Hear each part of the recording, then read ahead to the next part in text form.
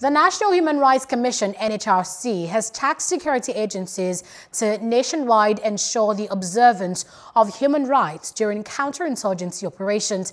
Executive Secretary of the NHRC, Anthony Ojukwu, during a virtual policy brief on counterterrorism legislation in Nigeria, said the respect of human rights must not be compromised during military operations.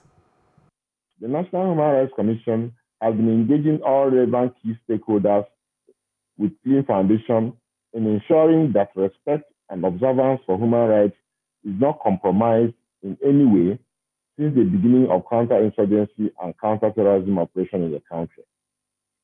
Some of the interventions we have made are periodic dialogue with the military and other security forces in maintaining human rights and humanitarian law principles in counterinsurgency as well as internal security operations. I, I strongly believe that this policy brief will be an additional impetus in our fight against terrorism and violent extremism in Nigeria. Participants at this event are critical stakeholders in preventing and countering violent extremism in the country.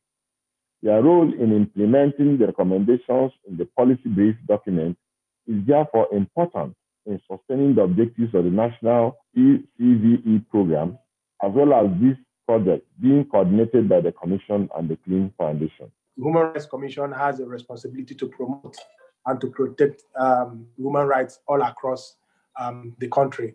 Uh, sometimes people also don't understand that the Constitution provides that everybody is innocent until proven guilty.